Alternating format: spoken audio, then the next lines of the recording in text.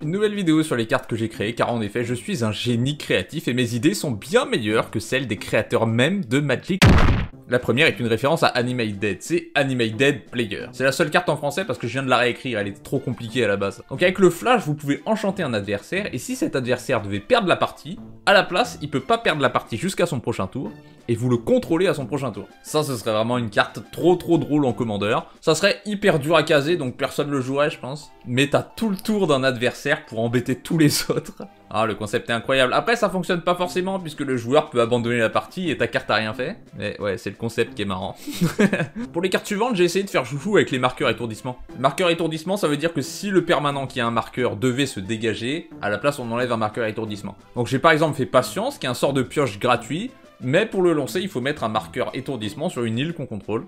Donc c'est comme si ça te coûtait un mana. Et c'est comme si tu piochais, parce que tu pioches pas tout de suite non plus. D'où le nom. Ça c'est la première, parce que je trouve que les marqueurs étourdissement c'est hyper intéressant. Ça m'inspire beaucoup, puisque je trouve qu'on peut faire beaucoup de choses, on peut équilibrer beaucoup de choses grâce aux marqueurs étourdissement. Je vous propose ce mur de neige, de 5 défenseurs, et il inflige des blessures sous la forme de marqueurs étourdissement. Vu que c'est une 2-5, s'il tape une créature, elle inflige 0 dégâts, mais il lui met 2 marqueurs étourdissement. J'aurais peut-être dû faire qu'en plus il engage la créature, parce que si quelqu'un avec la vigilance t'attaque, eh ben il s'en fiche. Mais ce qui est marrant aussi, c'est que si t'augmentes la force de ce mur, tu lui mets par exemple 10 de force, il va mettre 10 marqueurs étourdissement, il va falloir 10 tours pour dégager la créature attaquante. Et puis ça a du sens, si tu tapes un mur de neige, il y a la neige qui te tombe dessus et ça t'étourdit. Et en augmentant sa force, tu augmentes le volume de neige qui y a au-dessus. Ok, ça n'a pas autant de sens, mais une fois de plus, je dois admettre que le concept est intéressant. Franchement, je valide cette carte. Son créateur a eu une très bonne idée. Dernière carte avec un marqueur étourdissement, c'est Patient Growth. Cherchez votre bibliothèque pour un terrain de base, mettez-le sur le champ de bataille engagé avec deux marqueurs étourdissement. Pour un mana vert, parce qu'on n'a pas de cartes qui pour un mana font chercher un terrain et le mettre sur le champ de bataille. Et grâce au marqueur étourdissement, j'ai réussi à rendre ça plus ou moins équilibré. Tu prends un terrain, mais tu pourras t'en servir que dans 3 tours du coup. C'est possiblement assez faible en fait. Parmi toutes celles qu'on a vues, je dirais que c'est celle qui a le plus de chances d'exister. Je me jetais des fleurs jusqu'à maintenant, mais celle-là, je pense vraiment qu'elle a du potentiel. Sur une note un petit peu plus légère, je vous propose Counter Spell. Ça coûte 2, et soit tu contres un sort, soit tu mets deux marqueurs sur une créature. C'est un jeu de mots puisque counter ça veut à la fois dire contrer et marqueur. Je t'explique le jeu de mots au cas où tu parlerais pas anglais.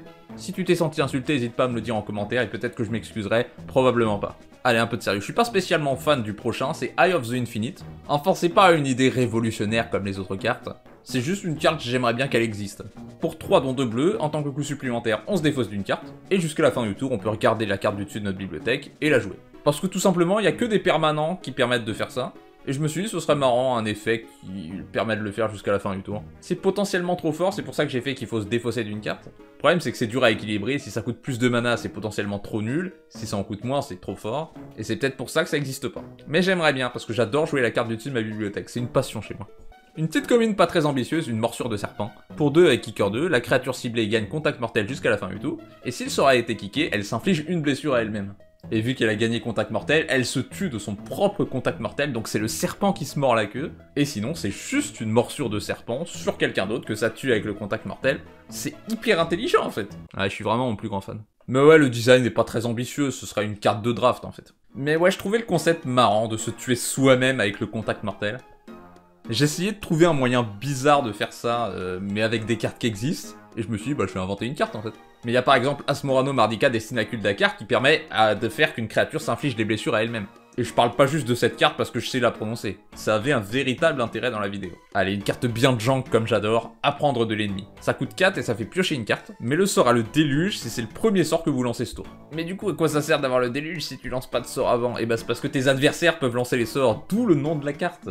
Imagine ton adversaire lance 5 sorts, à la fin du tour tu fais Lord from the Enemy. Ah, t'as lancé 5 sorts, le sort est copié 5 fois. Je pioche 6. Je pense que ça serait une carte vraiment marrante à jouer. Une bonne petite carte de commandeur. Je retourne un petit passage pour cette vidéo, puisque euh, cette carte est passée sur la chaîne Card Market. First card is Learn from the Enemy by Yawns. Ils disent que la carte est trop forte si ça coûte 3 mana, et trop faible si ça coûte 4 mana. Donc il faudrait rajouter une ligne de texte. En fait, c'est pour ça que je l'ai pas fait à 3 mana, parce qu'à 3 mana, la plupart du temps, tu piocherais 2 cartes pour 3, et ça serait comme divination. Enfin, la nouvelle divination qui est en éphémère. Et c'est vrai qu'à 4 mana, c'est un peu faible, puisqu'il faut que ton adversaire joue 2 sorts pour que cette carte devienne bien. Mais j'ai pas cherché à créer une carte qui serait bien dans beaucoup de situations.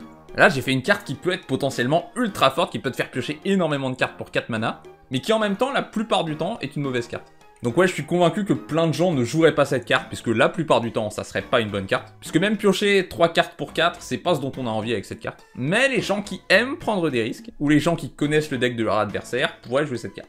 Donc le fait que la carte paraisse faible ne m'embête pas, puisque elle peut être forte. Puisqu'on parle de cartes de commandeur, pourquoi pas Arcane Time Bomb? J'ai appelé ça Arcane Time Bomb parce que Time Bomb c'était déjà pris. Un artefact pour deux qui arrive avec 5 marqueurs temps dessus. À votre étape de fin, l'adversaire ciblé acquiert le contrôle de la bombe, puis vous enlevez un marqueur temps, et quand le dernier marqueur temps est enlevé de cette manière, ça inflige 20 points de dégâts à son contrôleur. J'ai dit 20 points de dégâts ouais, bon. Et pour 5, on peut enlever un marqueur, et n'importe quel joueur peut utiliser cette capacité. Ah merde, du coup ça marche pas je viens de me rendre compte que ma carte marche pas, puisque on peut enlever des marqueurs avec le 5, et du coup, elle peut plus exploser, puisque c'est que si le marqueur est enlevé avec la deuxième capacité qu'elle explose. Ah, du coup, on la désamorce? C'est bon, ça fonctionne, c'est pas grave. C'était pas le but, mais on peut désamorcer la bombe. Donc ce serait une carte vraiment marrante en commandeur, puisqu'on pourrait juste la jouer, et les joueurs se la passeraient entre eux un peu comme le collier je sais plus quoi, mais en beaucoup plus drôle puisque ça met 20 dégâts. Et si ça met 20 dégâts, c'est pas pour le 1v1, c'est pour le commandeur. 40, ça serait un peu excessif, faire perdre la partie, ce serait excessif. Je trouve que 20 dégâts, c'est bien. Mais je pense que quand tu joues ce genre de carte, les adversaires essaient forcément de te le refiler à toi. Et avec l'image, vous voyez une IA qui essaie de faire une horloge.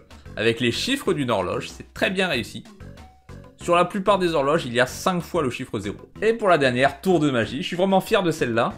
Pas parce qu'elle est forte ou bien designée, mais parce que c'est vraiment un tour de magie. Alors ça coûte un rouge. En tant que coût supplémentaire, révélez une carte non base de votre main, donc pas un terrain de base. Vous mélangez la carte révélée dans votre bibliothèque, puis vous révélez la carte du dessus de votre bibliothèque, si la carte avait le même nom que la carte mélangée, vous piochez 5 cartes, sinon vous piochez une carte et ça vous fait 2 dégâts.